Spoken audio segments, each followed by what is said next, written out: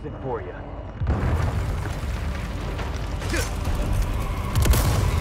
Are you even feeling this?